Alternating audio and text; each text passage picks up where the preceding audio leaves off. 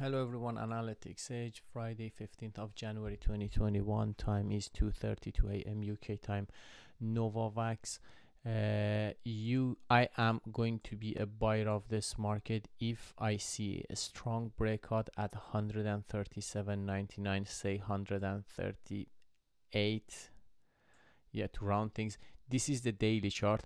So maybe wait for tomorrow if you see a strong breakout then you can be a buyer even by the end of tomorrow.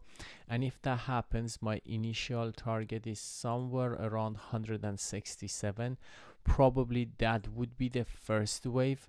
Then we might have a correction around even it can come down all the way to 113 and then we will go up again uh, but let's see how it breaks tomorrow and how is it gonna perform near 167 because we can have an extended wave as well. Thanks for watching and have a good night